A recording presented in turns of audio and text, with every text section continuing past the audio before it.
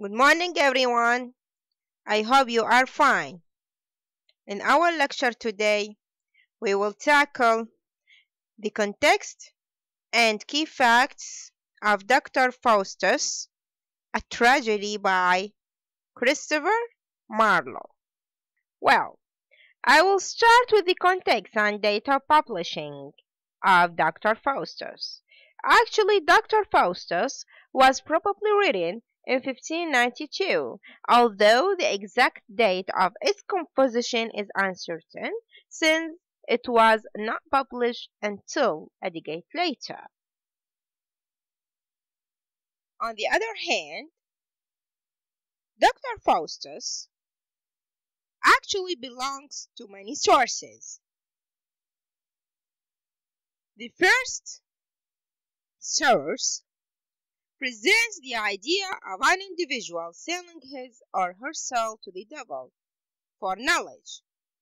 And this idea is an old motive in Christian folklore, one that had become attached to the historical persona of Johannes Faustus, a disreputable astrologer who lived in Germany sometime in the early 50s.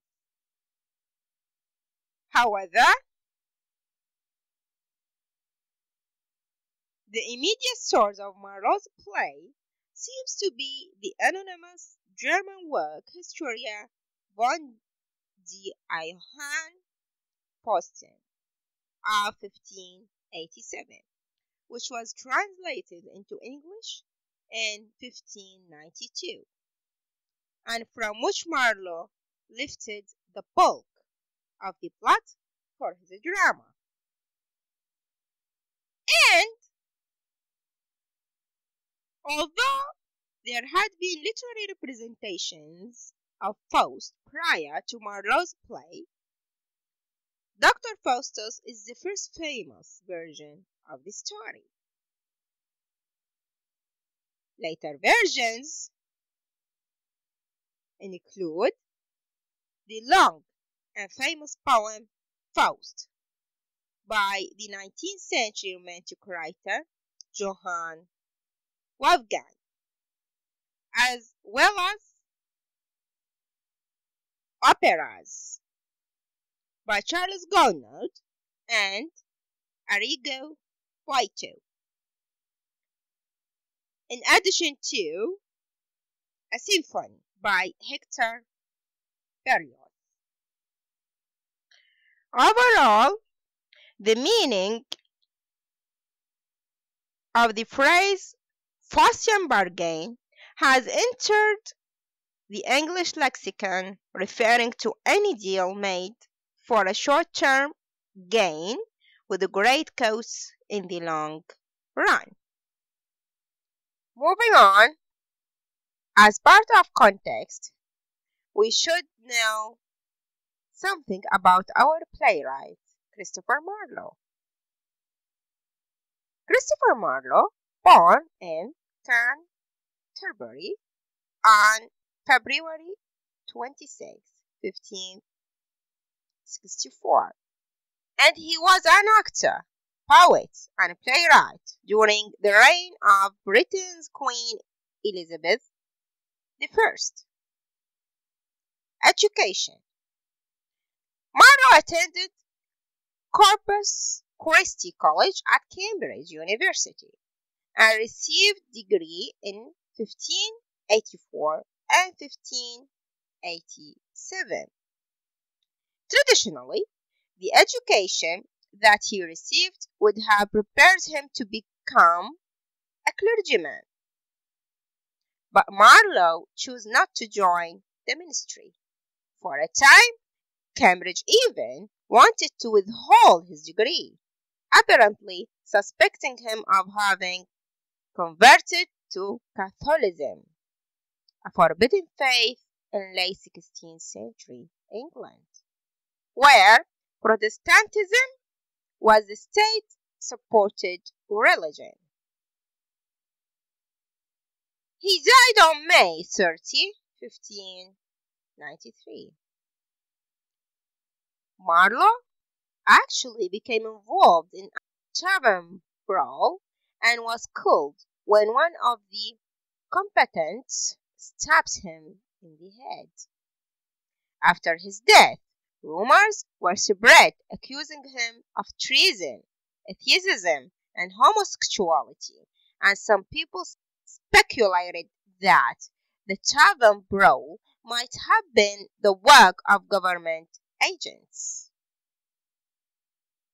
In addition, Marlowe has major contributions and works in drama. The most important contribution is that he introduced important use of blank verse and he was Shakespeare's main competition. Major works like Dr. Faustus, Tamburlaine, and The Jew of Malta.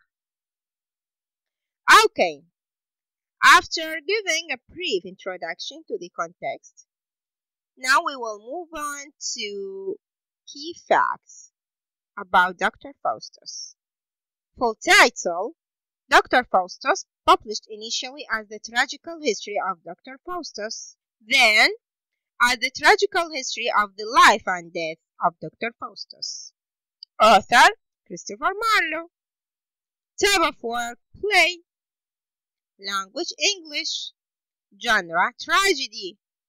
Time and place written early 1590s England.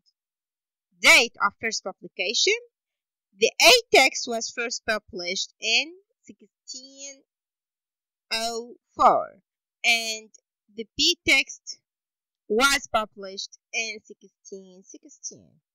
Publisher uncertain, possibly Philip Henslowe, a theatrical entrepreneur. Another key facts about the narrator and tense. The narrator is actually a chorus. Not for the most part, but the chorus which appears intermittently between scenes provides background information and comments on the action. Tense, the chorus who provides the only narration alternates between the present and past tenses.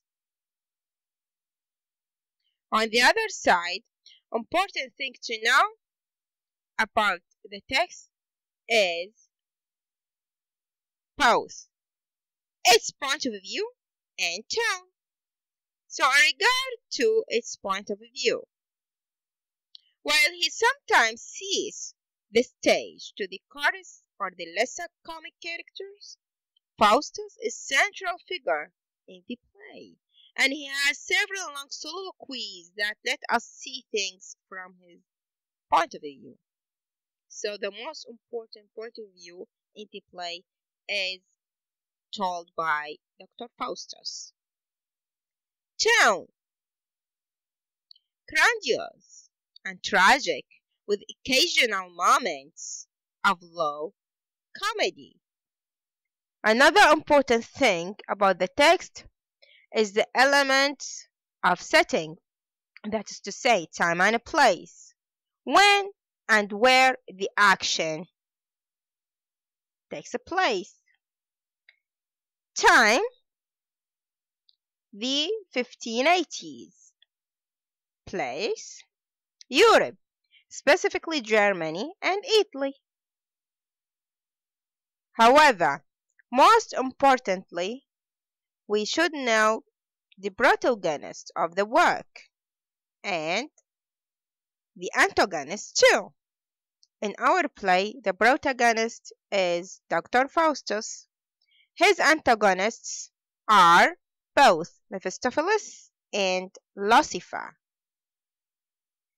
On the other hand, what is worth mentioning in any literary work, the use of literary techniques we have four literary techniques in Dr. Faustus that are working together. Number one, themes that include sin, redemption, and damnation. The conflict between medieval and Renaissance values. absolute power and corruption, and the dividedness of human nature. The other technique is motives that include magic and the supernatural, practical jokes, symbols include blood, Faustus' rejection of the ancient authorities, and the good angel and the evil angel. The last technique is foreshadowing. The play constantly hints at Faustus' ultimate damnation. His blood congeals when he tries to sign away his soul. The worse Homo fuge, meaning flyman, appear on his arm after he makes the pact, and he is constantly tormented by misgivings and fears of hell. So these were the main literary techniques used in Dr. Faustus. And all of them are working together. Now, we reach to the plot and the structure of Dr. Faustus as one of the key facts. The plot, as we have said before, consisted of five phases. So the first phase, the beginning. Dr. Faustus, a well-respected German scholar, grows dissatisfied with the limits of traditional forms of knowledge like logic, medicine, law, and religion, and decides that he wants to learn to practice magic. Rising action. Faustus' study of dark magic and his initial conversations with Mephistopheles. The conflict Faustus sell his soul to Lucifer in exchange for 24 years of immense power, but the desire to repent begins to plague him as the fear of hell grows in him. Climax Faustus' sealing of the pact that promises his soul to Lucifer. Falling action Faustus traveling of the world and performing of magic for various rulers. The end or denouement, Faustus dies and goes to hell. Well, lastly, this plot structure can be divided into scenes, as we will study. So, the scenes will contain prologue, that is to say, beginning, epilogue, that is to say, the end or denouement, and scenes from 1 to 17. These scenes include rising action, conflict, climax, and falling action. That was the end of our lecture today. For further reading, please refer to these resources. Next lecture, I will explain the characters in Dr. Faustus. Thank you very much for your time and good luck.